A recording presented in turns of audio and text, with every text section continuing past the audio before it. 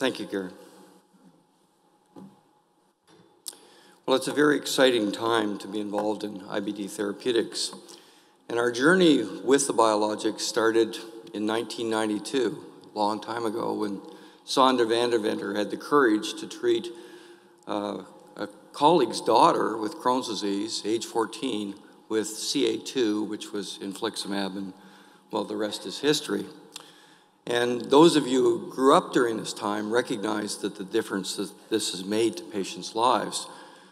Now, having said that, we have come a long way, but we need to go farther.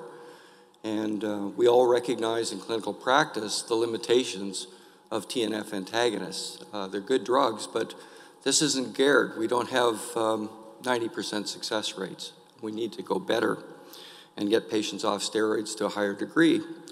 And furthermore, uh, TNF antagonists are systemic immune suppressives. And that comes with the burden of infection. And these are showing data from the TREAT registry, which identified that infliximab, along with exposure to prednisone, narcotics, and disease activity, were independent risk factors for developing serious infections. So we can do better, and we should think about better agents.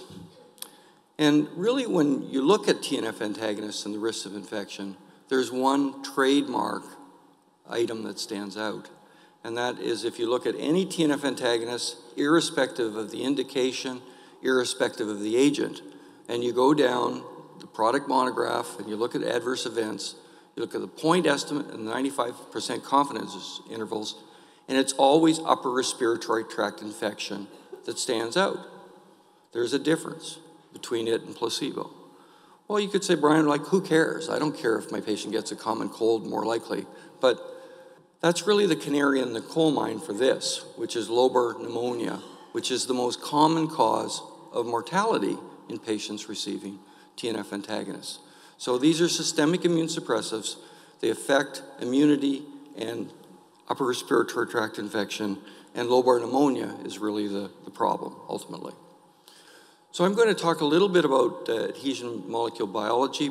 Bruce did a great job of setting the stage for this, and I'm going to touch on the mechanisms a little bit.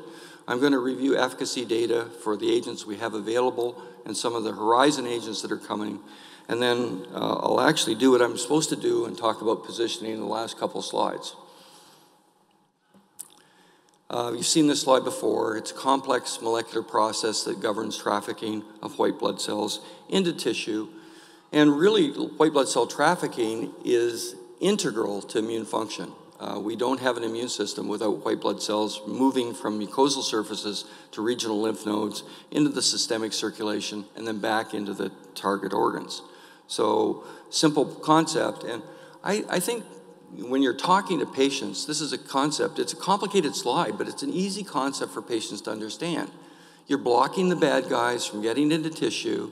It's like the driver in the th- three lane highway in normal state of affairs, they stay in the circulation, tissue's inflamed, they take the off ramp, they get into the tissue, and what we're trying to do is block that process, and it only works in the gut. So patients get that right away, and oddly enough, if you can convince the patient of what you're trying to do, they really are your partner in therapy. So it's an important concept. And, um, you know, I think when this all started, maybe uh, 10, more than 10 years ago, we were concentrating on how lymphocytes get into tissue, but I don't think many people were thinking how they get out of tissue. And it's only recently with the S1P1 agonists that we've started to think that there's another side of the coin uh, that uh, we can actually interfere with this trafficking process by blocking egress of lymphocytes from regional lymph nodes. And I'll briefly talk about that. So Bruce alluded to the integrins, and um, simplistically, we can think of these as coming in two flavors alpha 4 beta 1 heterodimers and alpha 4 beta 7 heterodimers. And these are expressed on peripheral T lymphocytes.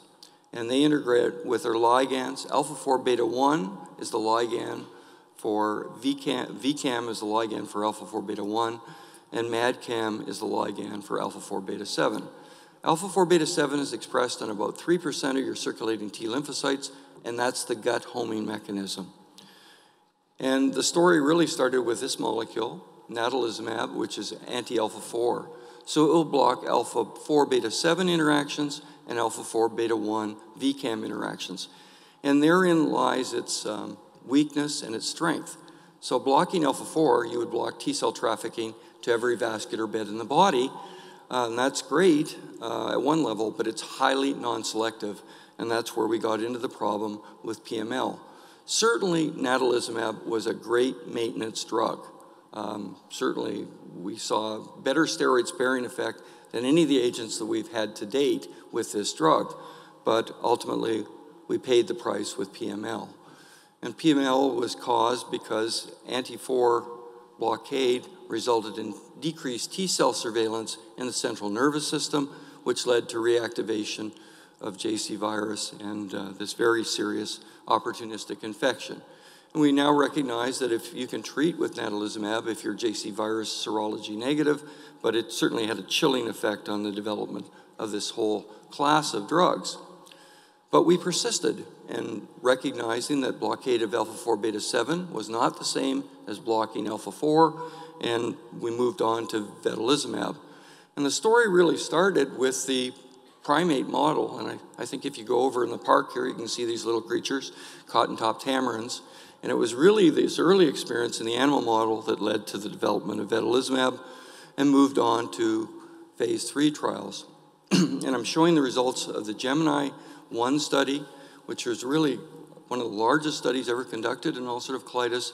These are the induction results and our classic endpoints of response, remission, and mucosal healing with clear superiority of the drug over placebo in a population of patients, approximately 40%, who had failed uh, TNF antagonists. So, a really striking effect.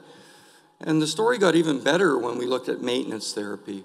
And um, really, as clinicians, you recognize what you want to do is get the patient off steroids for long term. And here we saw really the signature of this whole class of drugs is really a very strong corticosteroid sparing effect in ulcerative colitis. So, based on these data, I think you can say this trial was conducted in both patients naive to TNF antagonists and those that failed this class of agents, and we see this very strong effect. So, this is a first line therapy for ulcerative colitis. Now, Crohn's disease, this Gemini 2 study, uh, herein lies the start of the controversy. Is vedolizumab an inductive agent?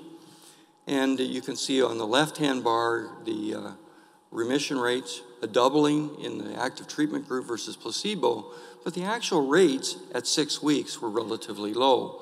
And actually, paradoxically, no difference in response rates. This led to huge controversy over whether the drug was even effective in Crohn's disease, but I think we should have known a little bit about this.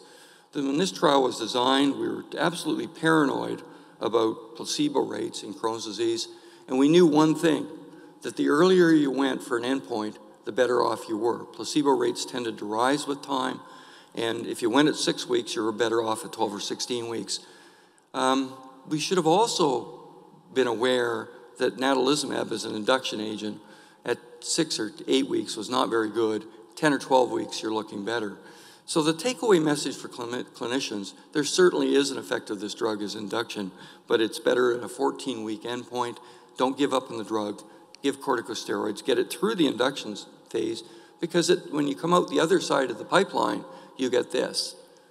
And again, look at the steroid sparing effect. This is a highly effective steroid sparing effect that is well tolerated over the long term, and as I'll come to, is a very safe uh, therapy for your patients.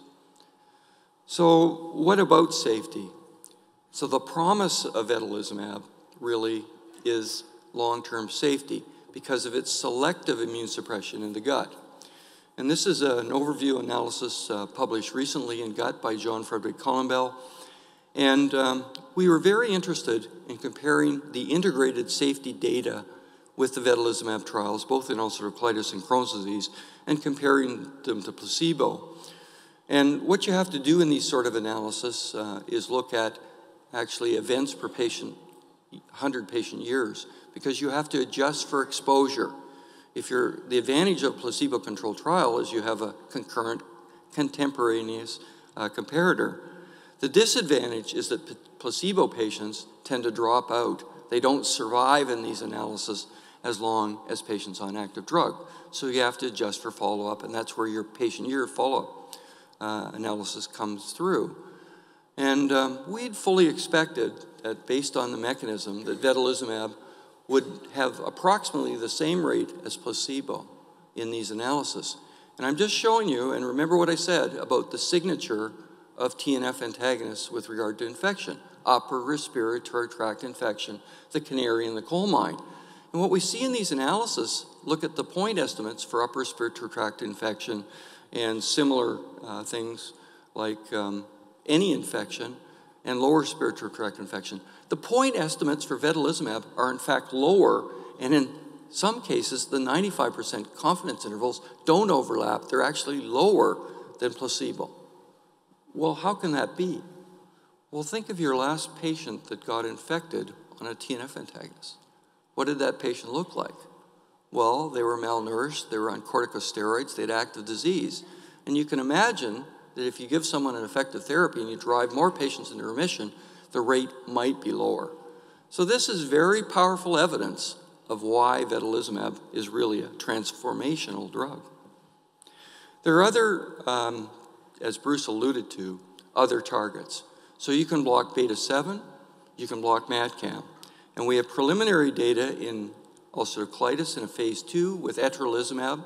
This blocks beta 7, so it will block alpha 4 beta 7, block the, the heterodimer beta 7 component, and this is a phase two study showing efficacy with etrolizumab. Etrolizumab will also, however, block alpha E beta 7. And you know when your pathologist shows you those beautiful pictures of intraepithelial lymphocytes, they're tethering to the molecule E-cadherin, which is present on the basement membrane of epithelial surfaces. And that is an alpha E beta 7 E-cadherin interaction, which an antibody to beta 7 will block. Now, we don't know whether that's a good thing or a bad thing right now. Uh, you could argue that you could see enhanced efficacy by blocking this additional mechanism, but it is less selective than blocking alpha 4 beta 7. And could you see an increased side effect profile because of the presence of alpha E beta 7 E cadherin interactions in things like the skin and the lung? So this remains to be seen. This molecule's in phase three. And then blocking MAdCAM uh, why go to the final common pathway, cut out the middleman. We have data from this study, which Bruce showed, of this paradoxical dose response curve with this molecule, which is moving into phase three, blocking MAdCAM. So, really, this mechanism is now well established. Um, and we reviewed the data in a recent Cochrane review. And if you look down these um, pedograms, the uh, forest plots, you see that the effect size for induction of remission across all three agents is very similar uh, clearly better than placebo and just validates the whole class as an induction drug in Crohn's disease and ulcerative colitis. Very little data in Crohn's disease. Um, again, anti-MAdCAM really has failed in this situation, and I would draw your attention to the high placebo response rates. Hard to explain in this trial. This trial took the usual steps to reduce placebo rate, but um, did not show an effect. So this um, remains to be seen where this is going ultimately. Uh, I would say, though, that in subgroup analysis of that trial, if you selected patients who had high inflammatory burden, you could tease out a um, post hoc effect. So I'm not saying that this doesn't work, it's just that it's not clear to me where this is going at the present time. Bruce alluded to the sphingosine uh, phosphate 1 agonist as a new approach of lymphocyte trafficking and we have data with ozanimod, with originally the prototypic model, fingolimod has been a breakthrough drug, oral agent in MS. It has a large um, side effect profile. There's a number of problems with the drug, and a more selective version, recently ozanimod, published by Bill Sandborn in the New England Journal of Medicine, showed this very nice result in refractory patients, uh, clear dose response with the one milligram dose um, showing efficacy in induction, and in a follow-up study showing increased uh, efficacy over a period of 22 weeks. So this molecule is now going into phase three in both ulcerative colitis and Crohn's disease as an oral agent, which won't have the burden of uh, administration and risk of immunogenicity that encumber the uh, monoclonals. So in the last four minutes, I'm going to get to what I was really asked to do, and that's talk about positioning. So when I was growing up as a resident, we said that azathioprine was the cure to all our ills, and that ultimately it would be the agent that would transform the natural history of disease. When this study came out by Jacques Cosnes, uh, we began to change our view. So this shows the rise of azathioprine therapy in a single teaching hospital in Paris, France, over a period of 20 years. And you see this rise in the use of azathioprine, but no parallel decrease in surgery rates. So that's when we started to challenge the view that it was a transformational drug. And then more recently, larger clinical trials than the old studies by Candy Wright or Dan Present have evaluated this. This is a French GETAID study showing no benefit for azathioprine monotherapy, confirmed by the, um, the sorry, that was the Aztec trial. This is the GETAID study, again, showing no benefit for monotherapy. So if you take this into Crohn's disease, what does it tell us? The pyramid is dead. The base of the pyramid, 5-ASA and antibiotics, they don't work corticosteroids, short-term induction therapy, azathioprine, our go-to transformational drug, really has been, uh, the emperor has no clothes. So we've really got away from step care now in 2016. And now it's, we're really categorizing patients into either high-risk patients or low-risk patients. The high-risk patients, and you know who they are, there's a variety of clinical predictors that you all use, they need the most effective therapy early in the course of the disease. Everyone else um, needs careful observation and uh, follow-up. And clinical trials started to reflect this approximately 10 years ago.